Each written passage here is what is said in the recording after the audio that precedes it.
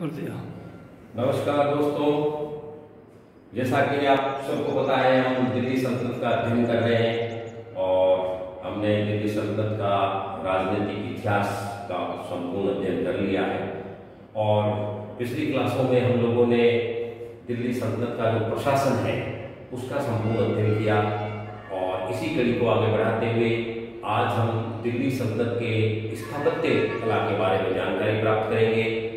कि दिल्ली सल्तनत के समय विभिन्न जो सुल्तान हुए, उनके द्वारा निर्मित विभिन्न जो स्मारक है, मकबरे है, दुर्ग है और मस्जिदें हैं तो विभिन्न जो इमारतें उन्होंने बनाई, उन इमारतों के बारे में अध्ययन करेंगे स्थापत्य कला की विशेषताओं के बारे में अध्ययन करेंगे, और जो दिल्ली सल्तनत की जो तुर्क स्थापत्य कला थी, वो उसकी क्या विशेषताएँ थी तो इसका हम आज अध्ययन करने जा रहे हैं।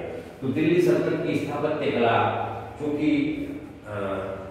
तुर्क है, वो भारत विजय के पश्चात हम देखते हैं कि वो यहाँ नई आबोहवा, नया जो एनवायरमेंट था।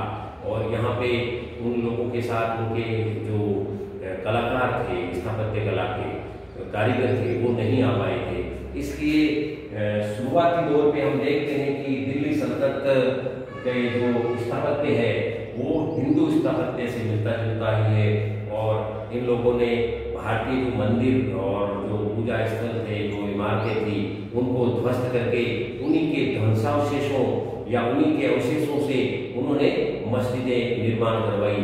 तो इस प्रकार हम देखते हैं कि शुरुआत में जो दिल्ली सल्तनत की जो इमारतें हैं, वो हिंदू मुस्लिम कला का मिलता जुलता मिश्रण टाइप देखने को मिलता है। तो हिंदू जो स्थापत्य शैली है, वो थी क्षितिज शैली। और जो मुस्लिम स्थापत्य शैली थी तो वो है मेहराब शैली। तो क्षितिज शैली और मेहराब शैली का मिश्रण प्रारंभिक दिल्ली सल्तनत की जो इमारतें हैं, उनमें हमें देखने को मिलता है। क्योंकि इस्लाम ने यहाँ तुर्कों ने यहाँ विजय प्राप्त की और विजय प्राप्त करके यहीं की जो इमारतें थी, उनको ध्वस्त करके उन्हीं के ध्वंसावशेषों से उन्होंने अपनी शैली में इन मंदिरों का, इन मस्जिदों का और भवनों का निर्माण करवाया। इसलिए ये हिंदू, मुस्लिम स्थापत्य कला का मिलता जुलता मिश्रण टाइप हमें देखने को मिलता है। हम देखते हैं कि तुर्कों ने भारत विजय की पृथ्वीराज चौहान को प्राप्त करने के बाद मोहम्मद गौरी के जो सिपह सलार थे कुतुबुद्दीन ऐबक उसने भारत के विभिन्न क्षेत्रों को विजय किया। और हम देखते हैं कि विजय के पश्चात उन्होंने भारत में जो सबसे पहली इमारत बनाई, उसका नाम था कुवत उल इस्लाम मस्जिद। कुवत उल इस्लाम मस्जिद। ये दिल्ली में इन्होंने बनाई थी।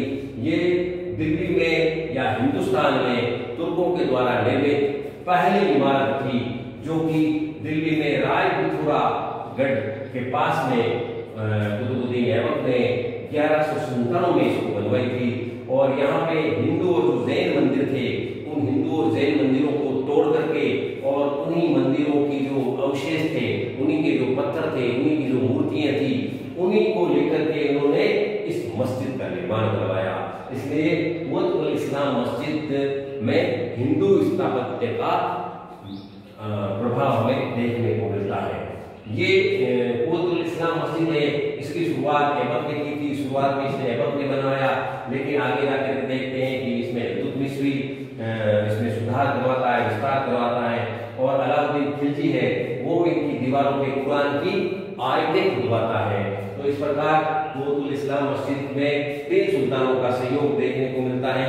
अक्सर परीक्षाओं में पूछा जाता है कुतुल इस्लाम मस्जिद से किन किन सुल्तानों का नाता रहा है? तो कुतुबुद्दीन ऐबक इल्तुतमिश और अलाउद्दीन खिलजी तो ये इस्लाम की प्रथम इमारत हिंदुस्तान में तुर्कों के द्वारा निर्मित, लेकिन भारत में ये निर्मित प्रथम इमारत हिंदू और मुस्लिम स्थापत्य का मिलता जुलता नमूना पेश करता है। अगली जो इमारत इन्होंने बनाई, वो थी कुतुब मीनार। कुतुब मीनार, या कुतुब मीनार से पहले इन्होंने ढाई दिन का झोपड़ा बनाया था। ढाई दिन का झोपड़ा कहाँ है? अजमेर में है। अजमेर में कुतुबुद्दीन ऐबक जब अजमेर विजय के लिए आता है तो यहाँ पे उसने जो पहले से निर्मित यहाँ संस्कृत महाविद्यालय था, सरस्वती कंठावरण सरस्वती कंठाभरण नामक संस्कृत महाविद्यालय था उस महाविद्यालय को तोड़ करके उन्हीं के अवशेषों पर उन्होंने ढाई दिन का झोपड़ा बनवाया। और ये ऐसा कहते हैं ढाई दिन में निर्मित था। या वहाँ पे एक सूफी संत की दरगाह सूफी संत का ढाई दिन का मेला बढ़ता था, इसलिए इसका नाम ढाई दिन का झोपड़ा रखा गया था तो ये अजमेर में बारह सौ में तैयार हुआ संस्कृत महाविद्यालय के ध्वंसास्थल ऊपर इसी को बनाया गया था तो ये दूसरी इमारत थी और इसी कड़ी में आगे हम देखते हैं कुतुब मीनार कुतुब मीनार का निर्माण दिल्ली में करवाया गया और कुतुबुद्दीन बख्तियार काकी इल्तुतमिश के जो गुरु थे सूफी संत कुतुबुद्दीन बख्तियार काकी तो अपने गुरु की स्मृति में कुतुबुद्दीन इल्तुतमिश ने कुतुब मीनार का निर्माण शुरू करवाया ग्यारह सौ में कुतुबुद्दीन ऐबक ये तिहत्तर पॉइंट पाँच मीटर लंबी थी और पाँच मंजिला इमारत है लेकिन हम देखते हैं कि शुरुआत उसकी कुतुबुद्दीन ऐबक करता है उसकी एक मंजिल का निर्माण करवाता है और इल्तुतमिश इसकी बाकी की तीन मंजिलों का निर्माण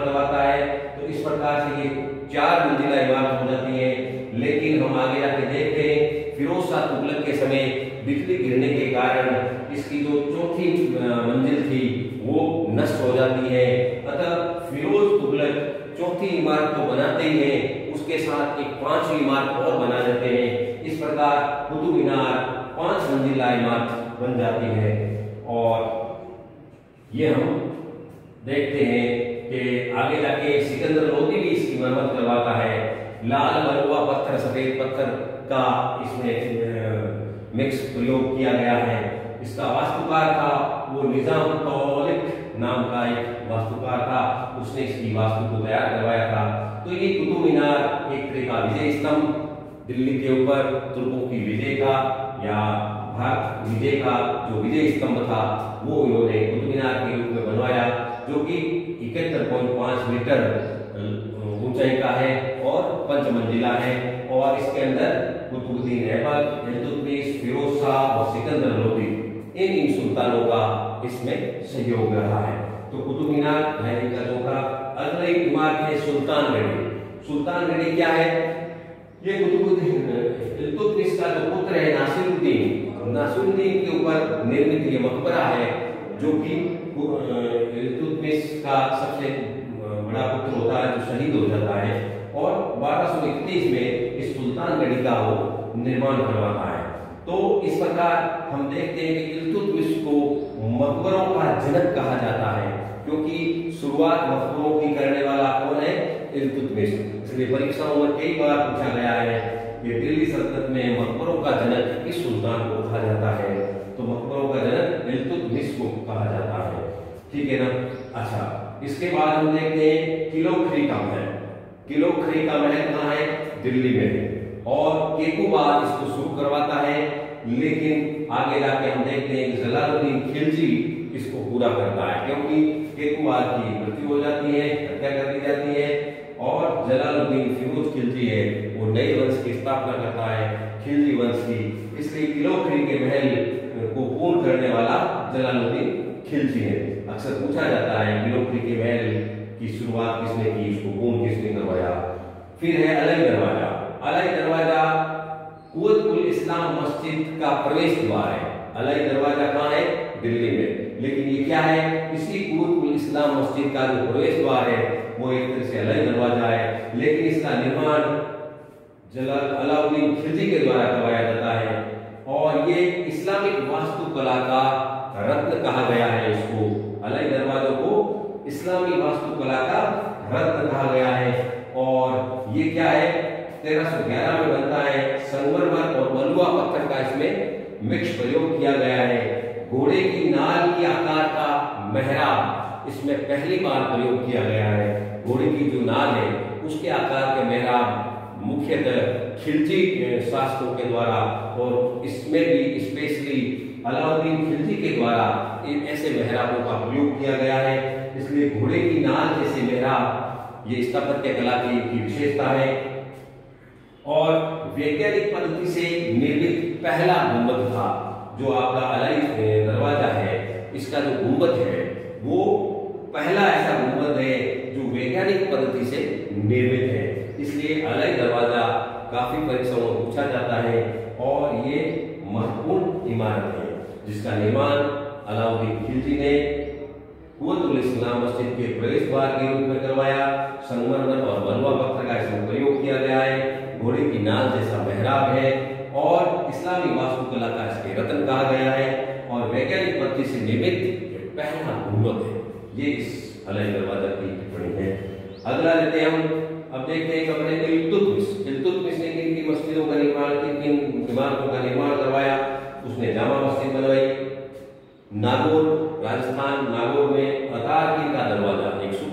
थे संत अतारकिन तो संत अतारकिन की स्मृति में, उन्होंने नागौर में, नागौर शहर में अतारकिन का दरवाज़ा निर्मित करवाया, जहाँ आज भी कुछ लगता है।